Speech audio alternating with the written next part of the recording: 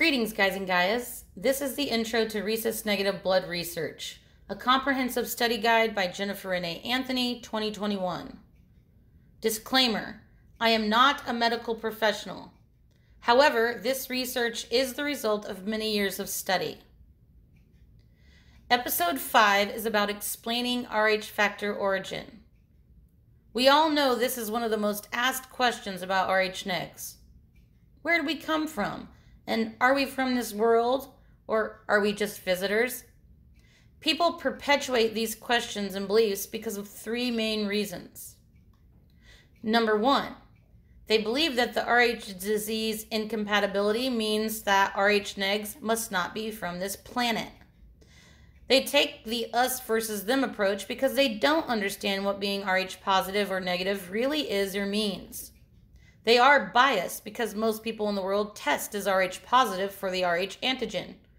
Therefore, they are unwilling to admit that it is themselves who carry the antigen in our Rh pos and cause an immune response in the human that is absent of the Rh antigen, the Rh neg. And remember, blood platelets do not naturally produce the Rh antigen. Let me say that again.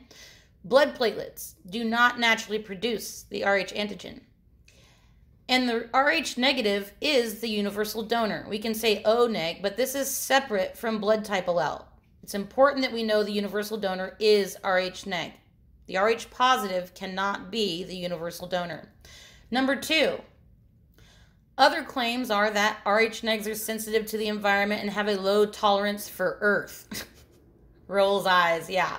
This is because they have not done the studies and research to learn that it is both Rh negs and Rh positives that suffer from environmentally induced mitochondrial diseases and disorders, accelerated aging, DNA damage, bioaccumulation of toxins, you know, family uh, family line mutations in genes, bioaccumulation of toxins, synthetic hormones, steroids, and other known and unknown forever chemicals that are now found ubiquitously in our environment due to modern industrialized chaos. Okay, this is not a result of us not being from the from Earth. Number three, people, institution, organizations, etc., that are taught that we are taught to trust are pushing information that is unfavorable and biased against RH negs. This makes it hard for for any RH neg to share any sort of belief uh, that deviates from what is widely accepted by Rh positives.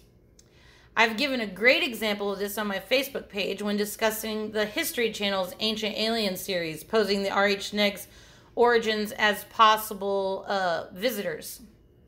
And how many men watch this or subscribe to this channel and then spread the misinformation and conspiracies around in our groups while posing as Rh negs. There are many, many examples of this all over the internet. And here's something to think about. If most of the world tests positive for the inherited antigen, then do you really think that a large majority of our scientists and doctors are going to have an incentive to want to figure out how to eradicate that pathogen or antigen from the surface of the red blood cells? Or this is just easier for them to claim that we're from another planet and give us RhoGAM and try to force us to have positive children? Or increase our chances of having positive children. Like I said, most of the world tests as RH, RH positive, so they inherit this antigen. So if most of the people studying this are largely going to be RH positive, then they're not going to want to admit that there's anything quote unquote wrong with themselves, are they? Well, sorry to burst your bubble, but guess what? There's no such thing as RH negative origins. That's right. No such thing. Obviously, the human species has origins and has gone through evolution, but the real question should be where does the Rh antigen come from? Not where does the Rh neg come from? Rather than trying to demonize and rid the planet of Rh negs, who's the universal donor, we should be trying to figure out how to be better stewards of Earth and figure out how to eradicate the Rh antigen from being inherited on the surface of the red blood cells of 85 to 94% of the entire world's human population. Not trying to pose Rh positives as normal and Rh negs as, you know, abnormal or otherworldly. That is not fair nor accurate. And if you want my honest opinion, I believe this is because a large majority of RH negs are white people. And given that most of the world is made up of non whites, they have never seemed to want white people to believe that we have an earthly natural origin here on Earth, have they? They always want us to think we are late, later mutations and can't be native to anywhere on Earth.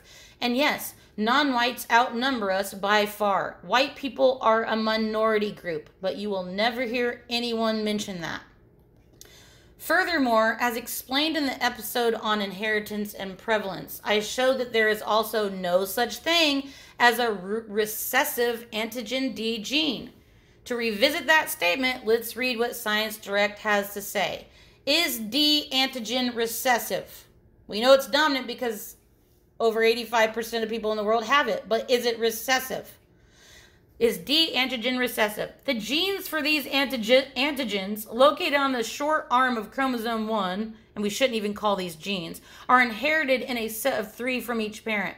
The presence of D, and this is important, pay attention to this part. The presence of D, the antigen D that makes a person test positive, Rh positive, the presence of D determines whether the individual is Rh positive. And the absence of D, well, there is no recessive allele. So D does not exist. It yields the Rh negative type. So you're either absent or it's present. Either the antigen is present in you or it's absent in you. If it's absent in, absent in you, then there's no inheritance. There's it's it's absent. It doesn't exist. There's no recessive allele for it, okay? And the same thing goes for what I'm trying to tell you about our origins. Okay? And why we should be posing the question of where does the Rh positive antigen come from rather than asking ourselves where does the Rh neg come from? Well, we're from Earth Okay, we are from Earth. So you see, RH negs are from Earth. I can't stop saying that enough. We are from Earth. We are for Earth and we are from Earth and we will always be here. You will not ever destroy Earth and you will never destroy us.